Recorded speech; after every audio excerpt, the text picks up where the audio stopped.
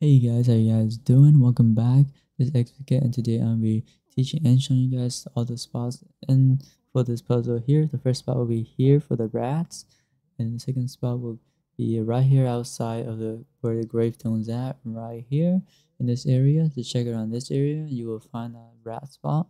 Um, then for the next spot here, we can run right into this area, the town area.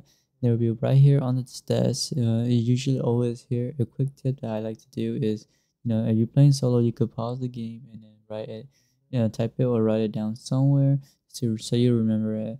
And here is a uh, spot that i found it on the second spot here for me. And uh, yeah it will be inside this area where you do the lamp where you escort the lamp after you've solved the puzzle on the statue. I also upload a video for that. If you guys want to watch it you guys need help for that one go check it out. And then another spot that could be here is right here in this area right here where the zombies are at just check around that area and you will see it. Then the next spot will come right here down here and it will be just right here. And as we are running down here i'll show you guys another spot right here in this area. Middle here it will be another rat spot. You go all the way down here. Around this little area here where i'm jumping in the circle it could also be there. Check around there. As you come down here there will be another spot right here. And then as i can see i am going back all the way up. All the, all the spots i rats are could be at so just come back up here and type in all the code.